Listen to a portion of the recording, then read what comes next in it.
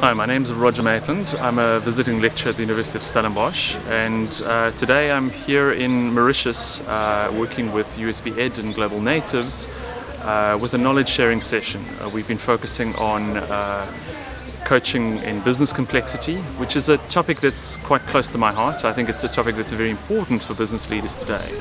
Many of the greatest challenges that we face as a human species and as businesses uh, relate to the theme of complexity. Complex problems, unlike the technical problems we're used to solving, are messy. They involve many stakeholders. They involve cause-effect relationships that, that are difficult to predict in advance and require a different skill set.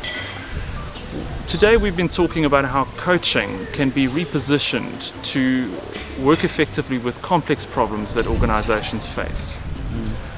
This requires that we go beyond typical individual coaching and team coaching to think about how coaching can help stakeholders from diverse parts of the business, from perhaps even outside the business, to solve those messy, complex problems or perhaps not even solving complex problems because normally we, we, just to, need to learn to, to work with the complexity rather than solve it.